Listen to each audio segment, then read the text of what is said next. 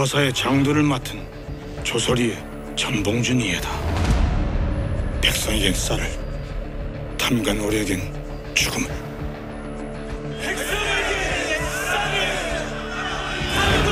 붓 대신 죽창을 들고 역사로 걸어간 전봉준. 고부에서 시작된 그의 여정에 농민들은 횃불을 밝혀 동행한다. 하지만 탐관오리 조병갑은 재빨리 피신한 뒤였다. 대신 시대의 적폐들이 차례차례 나타난다. 연이어 드러나는 거대한 음모와 죽음의 공포. 하지만 전봉주는 두려움 없이 역사의 길로 나아간다.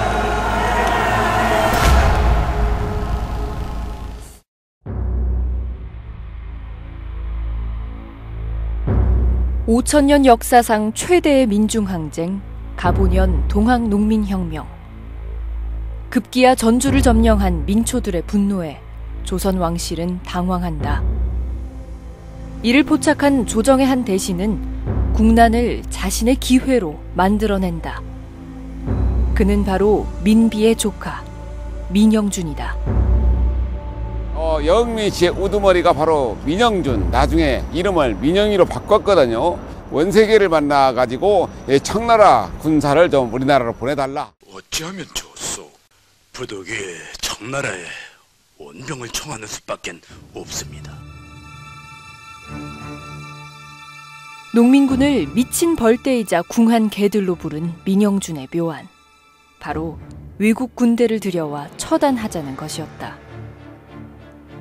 평안감사 시절 고종임금에게 금송아지를 바친 전설의 탐관오리 민영준. 가보년의 그는 선예청장과 병조판서, 즉 오늘날 국세청장과 국방부 장관을 겸직하고 있었다. 출세 가도를 달려 마침내 조선 최고 귀족이 된 금송아지 대감 민영준으로선 농민들의 죽창도 두려웠다. 그러면서 청나라 군사하고 일본 군사가 서로 대립하다가 우리나라에서 자기들의 나라도 아니지 않습니까? 이곳에서 엄청난 전쟁을 갖다 몰고 온 것이 바로 민영준이 나중에 이름을 바꿨죠. 그 사람이 청나라 군사를 요청하면서 비롯됐죠. 알고 보면은 고종이나 민비의 잘못이죠. 상감마마 무엇을 주저하십니까? 원세계를 만나 파병을 의뢰하십시오. 전주 가명이 함락되었사오나 대책 없는 왕실과 조선을 탐내던 청나라. 부지런히 둘 사이를 오가던 민영준은 결국 자국 농민들에게 외국군의 총칼을 동원한다. 킨진 조약을 근거로 일본까지 가세했다. 이제 청일전쟁이란 새로운 국면을 맞게 된 가보년. 위정자들의 무모한 선택. 백성들은 어처구니 없는 전쟁에 또 한 번 죽어간다. 예, 왕조와 예, 권력자들 그런 사람들은 세상에 있었잖아요. 일반 농민들이나 그 노비들 이로 말할 수 없었고 삶은 완전히 뭐 피폐하기 이로 말할 수 없었잖아요. 근데 지금도 마찬가지입니다. 어떤 의미에서는 그때도 이제 당쟁으로 찢기고 그래서 예, 교산 허균이 말한 것처럼 군자 소인 지변이라는 그래서 나하고 생각이 같으면 군자고 나하고 생각이 다르면 소인이다. 지금도 마찬가지지 않습니까? 탐관오리 조병갑 뒤엔 민영준과 같은 귀족들이 있었고 민씨 귀족에겐 민비가 민비에겐 무능한 왕이 있었다. 여기에 주변 강대국의 야유까지 더해져 한반도는 결국 쑥대밭이 된다. 위정자들이 자초한 전쟁. 전봉준과 농민군들은 전주성 함락 열흘 만에 자진 해산한다. 외국군이 머무를 빌미까지 줄 수는 없었다. 하지만 전쟁에서 승리한 일본은 한반도를 떠나지 않는다. 그 이후를 잠시 살펴보면 1년 뒤 민비는 일제에게 시해당했고 고종은 넋을 잃었다. 금송아지 대감 민영준만이 일본에 붙어 살아남는다. 위정자들의 패착에 일본은 한반도의 패권을 차지한다.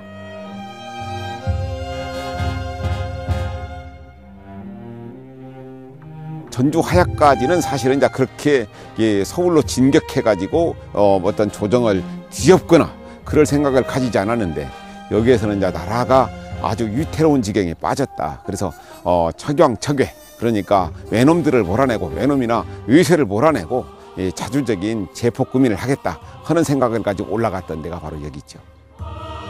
결국 전봉준과 농민군들은 이곳 삼리에서 항일 투쟁을 선언한다. 이모군란 이후 국방은 부실했고 조선이란 나라는 무력했다.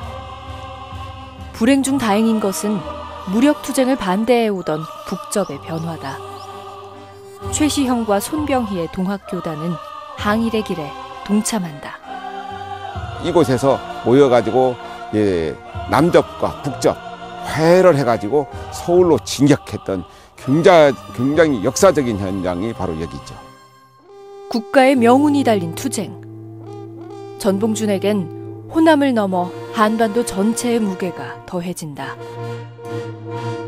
아, 그렇죠. 이제 인생의 어떤 의미에서는 자기뿐이 아니라 자기를 따랐던 여기에 처음 모였던 사람이 4천 명쯤 됐다는데 4천 명의 명운 그리고 막 여기저기서 막 사람들이 막 몰려오니까 그 많은 사람들의 목숨까지 담보하면서 나라를 구하기 위해서 일어났던 것이 바로 삼내기포죠.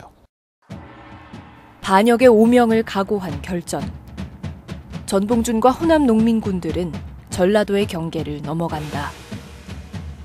삼리를 지나 논산에 이르자 그 숫자는 만 명이 됐고 여기에 북접 손병희가 이끄는 만 명이 더 가세한다.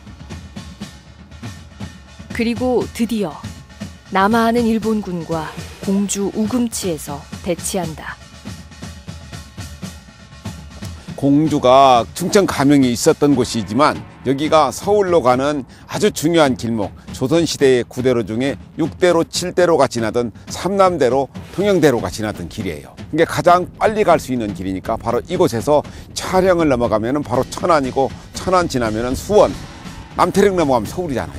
가장 빠른 길 그리고 이제 교통의 요지기 때문에 전국에서 다 이쪽으로 모일 수 있었고 그래서 삼내에서는 4천 명밖에 안 모였지만 올라오는 도중에 많은 사람들이 불어가지고 뭐 10만이라고도 하고 정말로 많은 어, 동학군들이 이곳에 있었다 그렇게 얘기를 하죠. 1894년 음력 11월 9일, 양력으로는 12월 5일. 한파의 풍찬 노숙을 이어온 농민군들. 무기는 죽창과 화승총이 전부였다. 반면 적들은 기관포를 난사했고 무자비한 총탄에 농민군들은 처참히 쓰러져 갔다. 피는 강처럼 흘렀고 눈물은 비처럼 내렸다.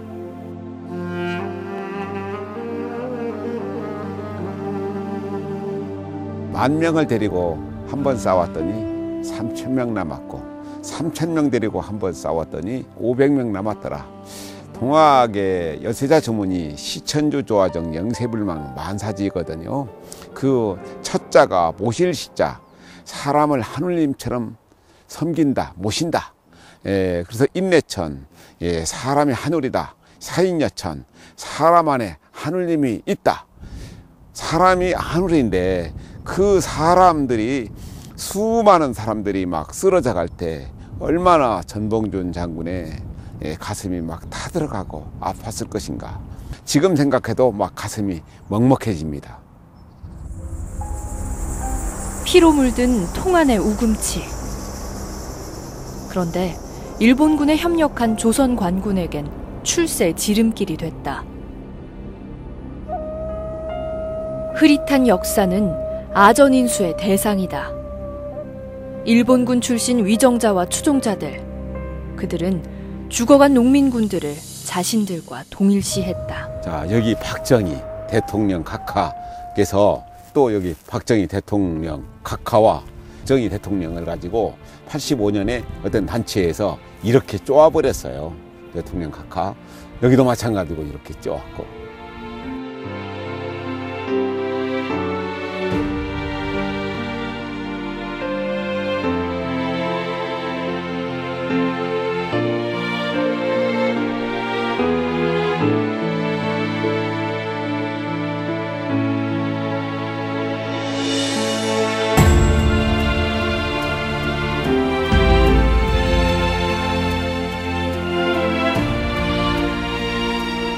하룻밤 사이 몰살된 수만의 생명들. 결국 전봉주는 부대를 해산하고 정읍의 깊은 산골로 피신한다. 그러니까 잡히기 전에 이 방에서 들어가지고 있을 때 얼마나 가슴이 쓰라렸을까. 그 수많은 동학군들 다 죽고 결국 재기를 다짐하고 왔지만 예, 사실 그 당시로서는 가능하지 않지요. 결국은 관군들이 와가지고 오랏줄을 받아라 하니까 도망치려다가 담을 넘다가 결국 관군이 내려친 몽둥이에 맞아가지고 다리가 부러져가지고 참 돌아가시기 직전까지 얼마나 그때 그 밤이 슬프고 서러웠을까 생각하면 참 가슴이 아프지요. 수많았던 동학 농민군들 다 죽어가고 그리고 뿔뿔이 흩어져 가고 그 심사는 그러니까 개인만이 아니고 하늘이 무너져 버린 것이죠. 어떤 의미에서는 이제 국가를 구하려고 일어났었으니까 나중에 공초를 받으면서 이런 얘기를 해요. 너는 누구인가? 나는 전봉준이다. 나이는 이제 마흔 하나다. 고부에는 너의 집이 있느냐? 불타서 잿더미가 되고 말았다. 너의 가족은 몇 명이나 되느냐? 가족은 내 가족은 모두 여섯이다. 조병갑은 고부에 부임하자마자 처음부터 그랬나?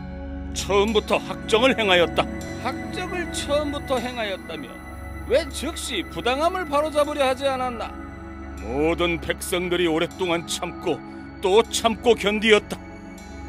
나 전봉조는 죄 없는 백성들과 함께 일어났을 뿐이다.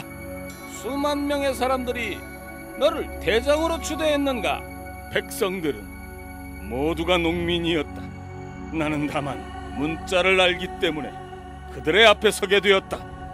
삼내에서 다시 기포한 것은 무엇 때문이냐? 내한 몸의 피해를 위해 기포하는 것이 어찌 남자의 일이라 하겠는가? 너희 일본이 조선의 궁궐에 들어와 왕궁을 침범하고 조선의 왕을 위협하였다는 말에 분개하고 다시 일어나게 되었다.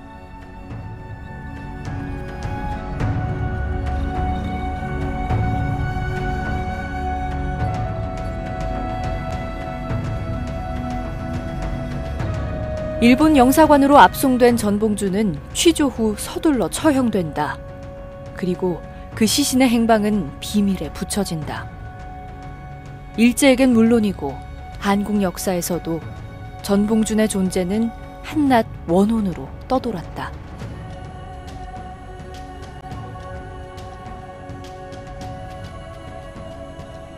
예, 법관이 물었어요. 너 이렇게 죽는 것이 어떠냐 하니까 예, 정도를 위해서 죽는 것은 원통하지 않지만 역적의 이름으로 죽는 것은 원통하다. 그러면서 일본인이 물었어요. 에, 지금 어, 가족들한테 남겨둘 말이 있는가 하고 물으니까 다른 할 말은 없다. 그러나 나를 종로 내거리에서 목을 베어가지고 지나가는 사람들한테 피를 뿌려야 마땅하거늘 왜 나를 이렇게 캄캄한 곳에서 죽게 만드느냐 하고 의연하게 에, 돌아가셨다고 합니다. 전봉준이 처형된 옛 전옥서 자리. 2018년 국민 성금으로 동상이 세워졌다. 호남 이외에선 마주치기 힘들었던 그의 존재가 아직은 사뭇 낯설다. 130여 년 동안 한국 역사에서 전봉준과 혁명의 조합은 불온했고 조심스러웠다. 때를 만나서는 천지가 모두 힘을 합치더니 그 운이 다음에 영웅도 어쩔 수가 없구나. 백성을 사랑하고 정의의 길을 간 것이 무슨 잘못인가? 나라를 위한 일편단심 그 누가 알아주랴. 기실 전봉준의 정신은 생전부터 혁명적으로 세상을 바꿨다. 전봉준과 농민들이 요구한 신분제 철폐. 이는 전주 화약 한 달 뒤인 김홍집 내각의 가보 개혁에 반영된다. 한민족 역사상 5천년을 이어온 신분제가 종식되고 민중이 마침내 노예에서 사람으로 인정받게 됐다. 우리 어렸을 때 많이 들었던 말. 어떤 일을 하려고 하면은 어른들이 애비, 애비, 하지 말라. 해서는 안 된다. 금기가 참 많았었거든요. 물론 사람들한테 어떤 나서면은 예, 나중에 정 맞는다 하는 얘기도 있고 그래서 사람들은 나서질 않습니다. 그래서 어, 세상이 어지러워져도 또는 그 예, 일어나서는 안 될 일이 일어나도 가만히 있어요. 그러면서 그냥 가만히 있으면 중간이나 따라간다. 전봉주는 그 당시에 일어났거든요. 그래서 에, 프랑스의 철학자 들르주의 말에 창조란 불행한 것들 사이로 자신의 길을 금거 나간다. 그러니까 나가가지고 다시 돌아오지도 못할지도 모르고 죽을지도 모르지만 창조를 한다는 것은 예, 남들이 가지 않는 길, 가서는 안 될 길, 그런 길을 갔을 때 그게 창조거든요. 그 불행이라는 거 어쩌면 죽을지도 모른다. 목숨을 걸고 일어났던 사람들이 바로 전봉준, 손아중, 김계남, 최경선 그리고 수많은 통학 농민군들이죠. 이름도 없이 숨져간 그 사람들이 결국은 자기의 전체를 걸고 인생 전체를 걸고 나라를 위해서 예, 구국 일념으로 일어났던 것이 동학 농민 혁명이에요. 내가 좋아하는 시인 중에 그 조태일 시인이 있어요. 그분의 예, 시 중에 이런 구절이 있어요. 내가 아는 어떤 사람은 녹두장군 전봉준의 초상화를 벽에다 붙여놓고 아이들한테 저분이 바로 너희 할아버지다. 저분이 너희 할아버지다. 그러니까 피를 이어받은 할아버지도 있지만 정신을 이어받은 할아버지 저분을 존경해야 한다. 왜 역사가 중요한지. 전봉준의 길엔 민중이 동행했다. 우금치 패전 16일 뒤인 황해도 해주. 동학군들의 봉기에는 김창수라는 이가 눈에 띄었다. 가보년 애기 장수라 불리던 이 청년은 훗날 백범 김구라는 이름의 독립운동가가 된다. 그러니까 전봉준을 비롯해 가지고 동학농민군의 수령들이 서울로 붙잡혀 간 뒤에 경상도에 하동이 있지 않습니까? 2천 명이 그곳에서 하룻밤 사이에 몰살도 했어요. 가보년 백성들은 절박했고 처절했다. 전봉준마저 잡혀간 이듬해 1895년 1월 일본군 3개 분대가 대둔산 절벽을 향해 발포한다. 대둔산의 정상으로 올라가는데 거기까지 쫓아와 가지고 오니까 그곳에서 어 일부는 예, 총을 맞아 죽었고 일부는 어떤 아녀자는 아이를 안고 뛰어내려 가지고 죽은 아주 처참했던 전투가 바로 대둔산 전투였거든요. 그러니까 이 예, 대둔산 전투나 또 그 하동 전투 정말로 그 참상은 이루 말할 수가 없었죠.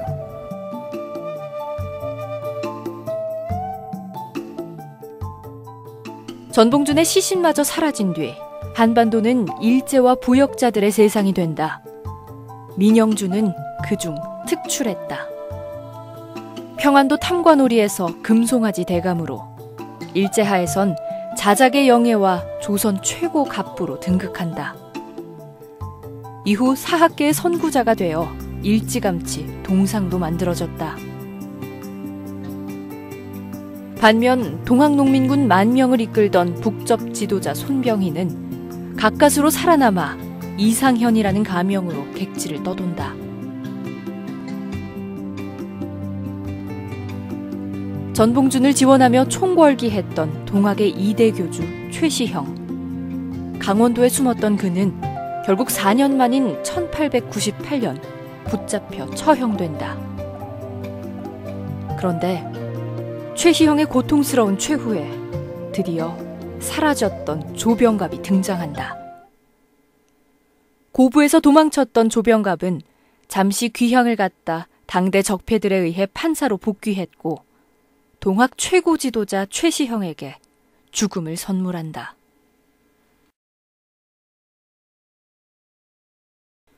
조병갑의 면밀함은 그의 묘에도 나타난다.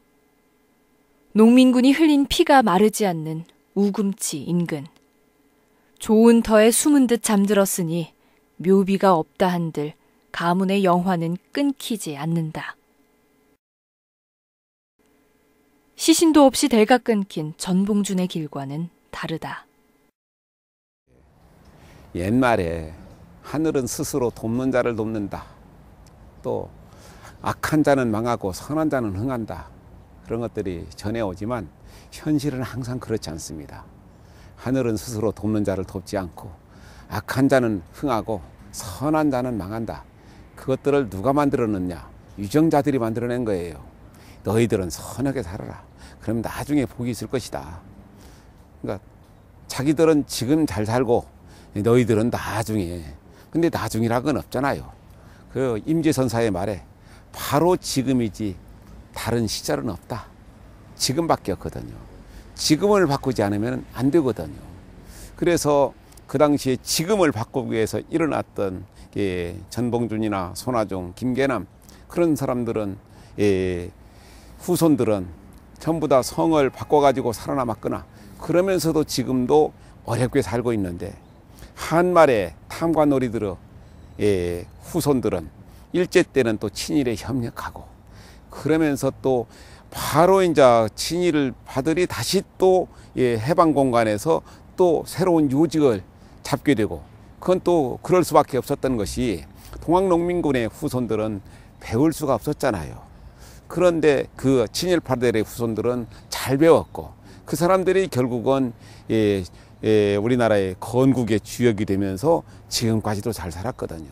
그래서 우리가 역사에서 배울 수 있는 것, 과연 선하게 살아야 하는가, 악하게 살아야 하는가, 그것이 항상 의문점으로 남지만 그래도 우리가 견지해야 할 자세는 그래도 선하게 살면서 세상을 바꾸려고 하는 노력, 그것들이 결국은 우리가 지향해야 합니다.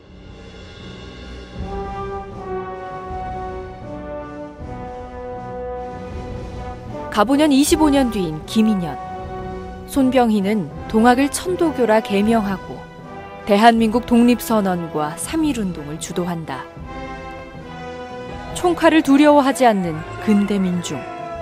그들이 역사의 주인공이 된다. 전봉준의 길은 손병희를 통해 독립운동으로 이어졌고 한 달 뒤 상해엔 대한민국 임시정부가 설립된다. 역사의 거대한 수레바퀴는 민중이 흘린 피로 조금씩 전진하고 있었다. 사실 조선 중기 정열입 사건 정열입이 추구했던 것이 대동 세상이지 않습니까? 그 맥이 이제 허균의 호민론으로 이어졌고 그 다음에 이제 다산 정약용 선생의 탕무혁명론으로 이어졌잖아요. 그러면서 홍경래 은안이 일어나고 그때 이제 전라도에 농민들이 일어났던 것이 바로 동학농민혁명인데 그 동학농민혁명이 결국엔 우리나라의 근현대사의 출발점이 돼가지고 예, 우리 민족이 새롭게 도약할 수 있었던 그래서 정말로 중요한 사건이 예, 동학농민혁명이죠. 가보년의 해주동학군 700명을 이끌었던 백범 김구. 1931년의 백범에게 충청도 조선 청년이 찾아온다.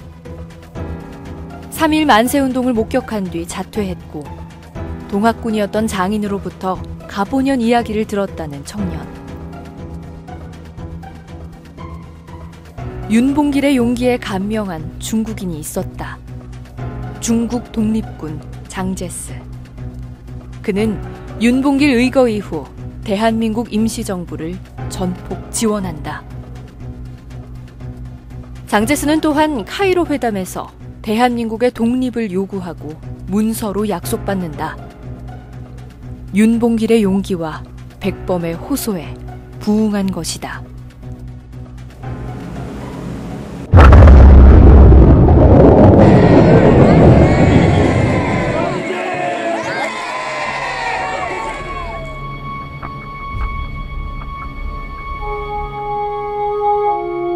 정신으로 이어졌고 1980년에는 광주 민주화 항쟁으로 이어졌고 얼마 전에 몇 년 전에 나라가 어지러울 때 수많은 사람들이 촛불을 가지고 왔고 이곳에서 녹두꽃으로 새롭게 꽃 피웠지 않는가 그래서 볼 엘리아르의 시에 보면은 예, 나는 소망한다. 내게 금지된 것을 그것을 실현했던 사람이 온몸으로 바로 저는 전봉준 장군이라고 생각합니다.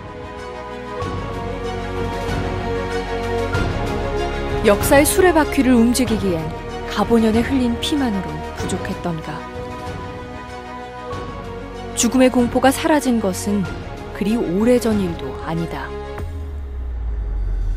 전봉준의 발자취가 있었기에 후대의 민중은 역사의 길에서 당황하지 않았다.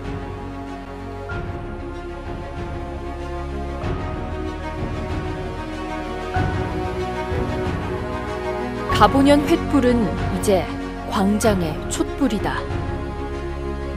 전봉준의 육신은 사라졌으나 그의 정신만은 어둠에서 더 빛나리라.